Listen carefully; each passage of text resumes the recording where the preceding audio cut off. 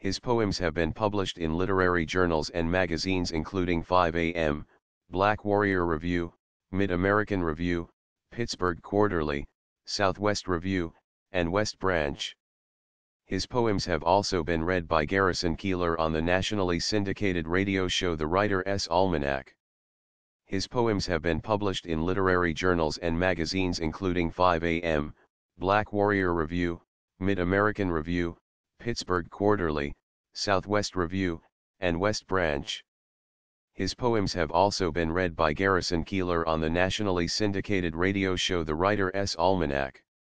Born in 1954 in Houston, Texas, Sims attended the School of Irish Studies in Dublin, Ireland, Southern Methodist University, BA, 1976, and the University of Iowa, MFA, 1978.